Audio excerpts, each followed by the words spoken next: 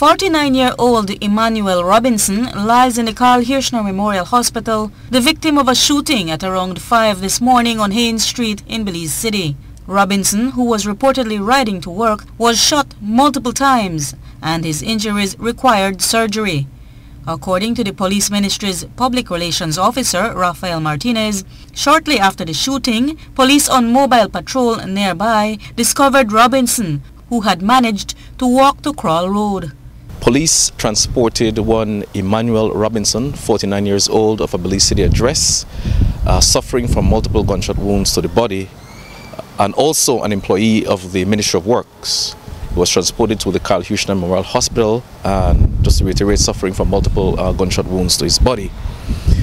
Initial investigation revealed that he was en route to work at approximately 5 o'clock this morning when he was fired upon by unknown assailant or assailants. So far, uh, no one has been detained. While they do not have any suspects, Martinez told Love News that they are following a lead. Robinson was shot to the left and right sides of his chest and abdomen. A resident of Haynes Street told Love News off camera that she heard about eight shots and realized that it was her friend who had gotten hit. As I heard the gunshots, I just get up.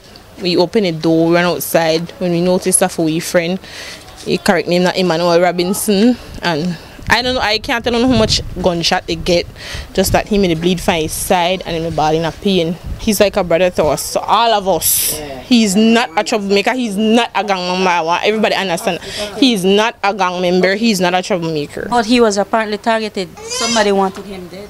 I, I don't I don't really know if it's about that, but if they want him dead, I, I really can't answer why because he not a trouble person. He no trouble nobody. Emmanuel Robinson is currently in a post-surgical ward and his condition is listed as stable. Reporting for Love News, I am Marion Ali.